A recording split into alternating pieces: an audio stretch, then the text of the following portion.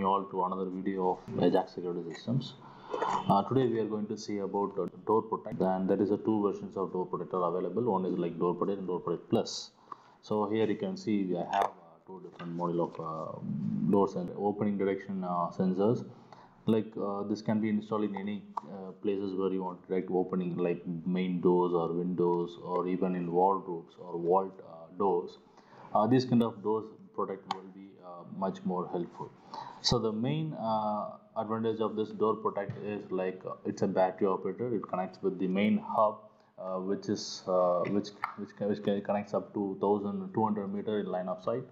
And uh, this uh, this can be also connected with any third-party wired sensors. If you have any third-party wired, normally close I mean, magnetic door sensors and this is also battery operated which comes up to seven years of battery life. That is one of the main advantage of the systems.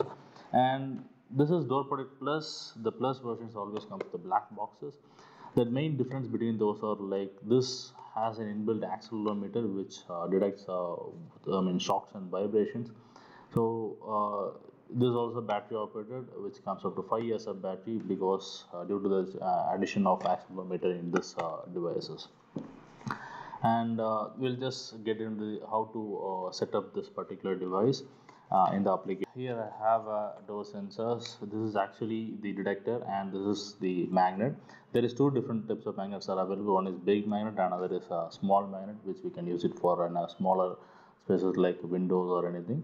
The major difference will be like this detects uh, um, big magnet detects uh, with the opening of more than 2 centimeter and the small magnet detects with the more, more opening of 1 centimeter so to add this in your application just uh, go to your uh, ajax applications in the uh, mobile phone. And just go to add device in the thing this add device. And uh, before that yes you need to add a room. So i'll just type this as a, uh ajax uh, studio maybe. Okay. And save.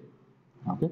So just go to add device add device and name it as a door protect okay.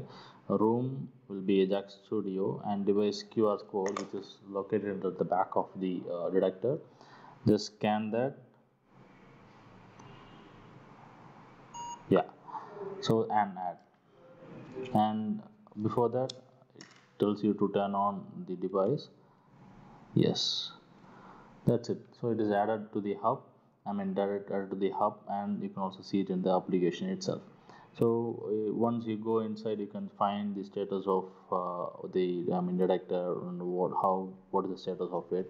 And all those things you can find the application itself. So you can also at the back you can see there is a, a output port where you can connect a third party wired sensor also into the detector without using the uh, Ajax magnet into it. Okay. So once you go into the uh, uh, device you can see the settings over this is actually a door protect plus which detects motion i mean uh, opening as well as uh, the uh, uh, shocks and vibrations.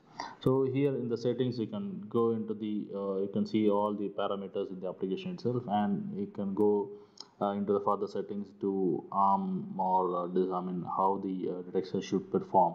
Even it should detect shocks or tilt or any kind of thing you can just set it in the application itself. So even you can see shock sensor sensitivity you can uh, uh, you can just uh, change it to high or anything. And uh, tilt sensor more than 5 degree or uh, 10 degrees any kind of tilt because door protect plus can be uh, armed using uh, windows open conditions as well. So anything can be triggered using this particular I mean any openings can be created using this particular devices.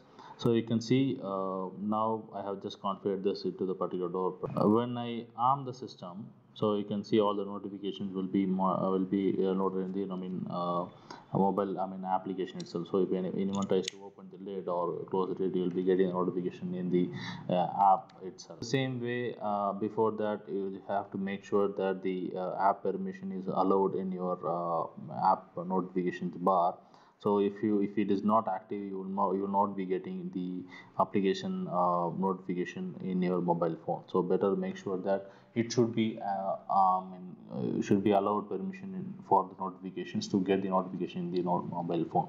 Okay. And so for example right now i have a door sensor here. So i'm going to arm the system using the application. Yeah so armed by Augustine it's my name. And uh, so if any opening is detected for example if uh, like now the door sensor is open you'll be getting the alarm with the uh, opening door so that's simply it is. So whenever it is closed or open so now the door is closed. You can see here. So I'll just check here. So now we can, we can also see shock and uh, tilt is being detected so everything you will be getting them in the in the fraction of seconds. You know shock is right i just moved it up you know you can see the shock is right in the door protect. That's how the system works in a, a highly efficient manner. So i'll just disarm it and that's it. This is how uh, you add a door protect sensors to the hub and how is the configuration in the application? That's how we do it. Thank you so much